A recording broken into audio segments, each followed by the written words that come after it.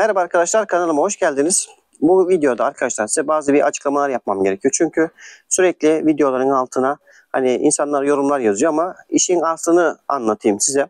Bu şimdi benim videomu baştan sona izlemeniz lazım.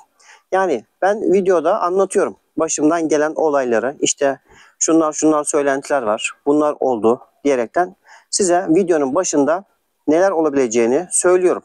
Ama videoyu tam olarak izlemeyen arkadaşlar işte garip garip yorumlar yazıyor.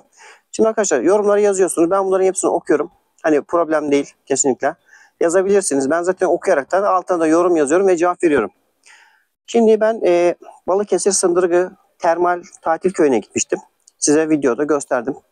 İşte nasıl gittim, neler oldu. Baştan sona oradaki birebir tanıştığım insanlarla hani videolar çekmeye çalıştım. İşte anlattım. Başında böyle böyle oldu. Söylentileri de videonun üzerine ekledim. Siz düşündünüz ki arkadaşlar işte e, siz bunlarla anlaşmalısınız. Bunlarla beraber gidiyorsunuz.